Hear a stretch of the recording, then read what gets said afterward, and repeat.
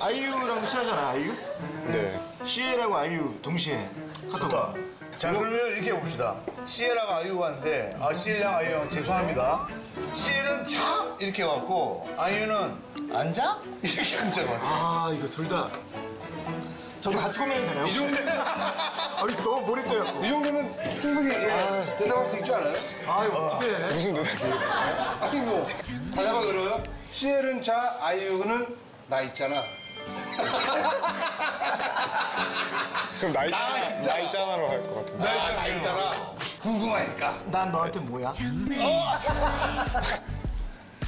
네?